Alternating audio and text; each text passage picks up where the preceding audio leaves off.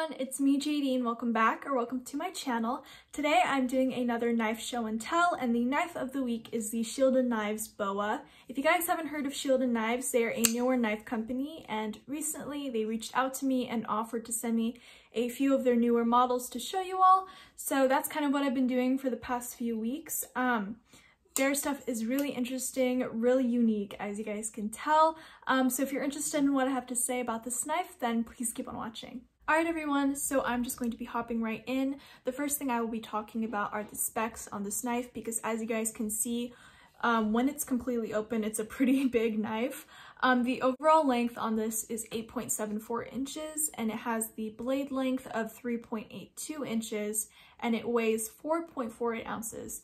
So it is a pretty big knife, um, almost 9 inches in overall length, which honestly can be a little bit overwhelming, but I don't really mind it. Even though I've said this like multiple times in previous videos, I don't really like bigger knives. I prefer it to be small just for my comfort and convenience. But honestly, it just makes sense for this to be really big. Um, the blade on this and the handle are really balanced, so it looks very aesthetically pleasing. Um, and it just feels really nice in my hands too, even though it is on the bigger side. Um, the handle has really nice contours, as you can see, no sharp edges. Um, there really isn't any jimping on this knife um, besides the tiny little uh, jimping right here on the spine of the blade. A lot of the grip comes from the handle right here on the edges as you guys can see um, that we have some texture. It's not too rough because sometimes with G10 handles it can be a little bit rough on the hands um, and it can tear up your pocket sometimes but that is not the case at all. It's very very smooth besides the textured bits on the side. Um, and I really love the snake skin look, very fitting for the name.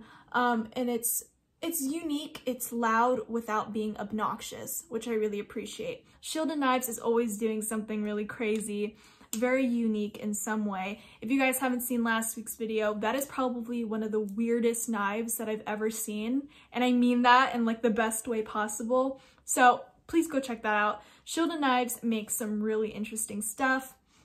Like I said, this is doing something very unique, but without being too crazy or over the top. Um, but let's get into the blade because it is one of my favorite aspects on this knife. Um, we have a beautiful Tonto blade style, very different from what I typically have. Um, a lot of my knives are drop point, so I like that little change in the shape. Um, and if I'm not mistaken, this knife comes in three versions. We have the regular, just plain D2. We have the one with the gray titanium coating and this one that I have, which is the black titanium coating with a beautiful stonewash finish. I really love it. I think it just works very nicely with the rest of the knife. The blade matches the pocket clip, so the aesthetic of this knife is continuous throughout the whole thing, which I really appreciate. Like I said, just a plain old D2. Um, and on the back of it, we have the little serial number right there. Oh, yeah, Shieldon's in the front, their logo's right there. And it just says BOA, which is the name of the knife, and Django.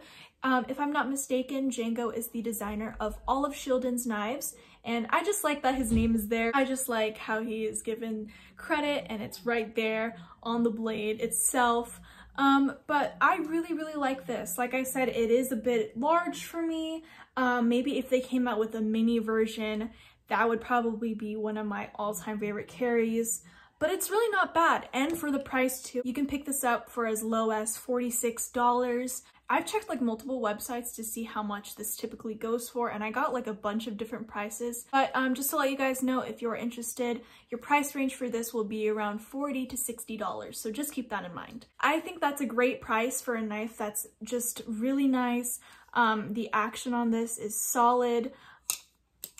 And I also love how you can open in two different ways. We have a little cutout right here um, that's actually very acrylic friendly. Even though I have super long fake nails, I can still use the little cutout right here, which is really fun. Um, so yeah, that earns some extra points. But yeah, overall, I really, really like this knife. I've been carrying it with me a lot this week. Um, it's just very easy to carry. Like I said, comfortable, it's cute, very interesting. I love the snake handles. I love the colors, love the feel, love the blade. Um, and it goes for a great price too. So if you are looking for a budget-friendly EDC, I highly recommend this one. And please go check out Shieldon's other knives too. They have some really, really cool stuff. But yeah, that was my short little show and tell on the Shieldon Knives BOA. So that concludes this week's video. Thank you all so much for watching. Please like, comment, and subscribe. Please follow me on Instagram at JadinesEDC. I will have a link down below, as well as multiple links for Shieldon Knives. I have their Instagram, their website, as well as the direct link to pick this up.